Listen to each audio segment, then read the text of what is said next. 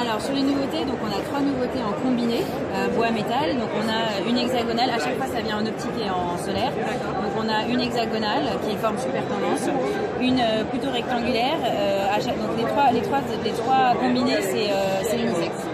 Euh, donc une rectangulaire et euh, on a une ronde. Voilà, une ronde euh, qui est, euh, qui est super sympa, qui est hyper mode. euh. Et après on a deux nouvelles en bois. Donc ça peut être euh, soit euh, 100% bois, soit bois avec les branches métal. Une super euh, papillon euh, hyper féminine euh, top.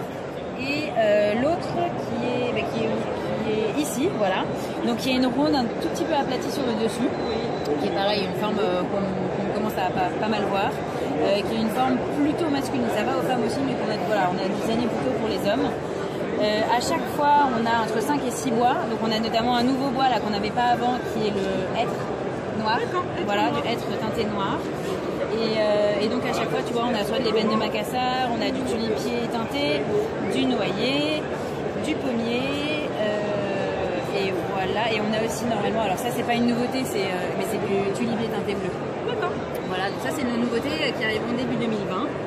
Euh, et donc on continue la collection Renaissance euh, bah, dans, dans sa lancée quoi, avec euh, pas toujours les mêmes histoires sur le développement durable, hein, euh, toujours des formes plus tendances qu'on essaye de, voilà, de remettre.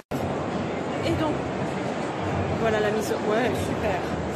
Et donc, toutes les faces des montures en bois ont cette technique qui est. qui s'appelle le Smart Wood, Voilà. qui est, une, qui est une, une technique brevetée. On a breveté là sur. Qui rend le bois souple en fait. Voilà, c'est un process de, de plaquage, donc c'est du multi-layer de plaquage avec un process particulier qui permet d'avoir du bois souple et qui permet du coup de monter les verres et de démonter les verres de manière beaucoup plus facile. Donc, un, un avantage pour les donc opticiens. un vrai avantage pour les opticiens. Et ça permet aussi de rendre la monture un tout petit peu plus résistante parce que voilà, quand tu appuies dessus, par exemple, si tu t'assois, alors si tu t'assois dessus, bah voilà, tu peux- Ça résiste, ça hein. résiste, ça résiste.